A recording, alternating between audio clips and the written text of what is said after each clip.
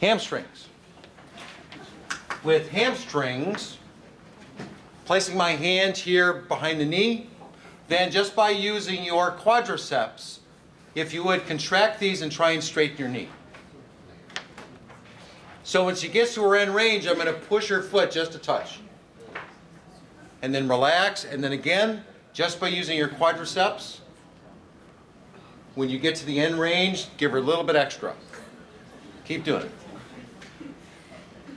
All of a sudden, what they notice is, Garry, it's getting harder to do. What I'm not telling her is that when she relaxes, I go a little bit more forward.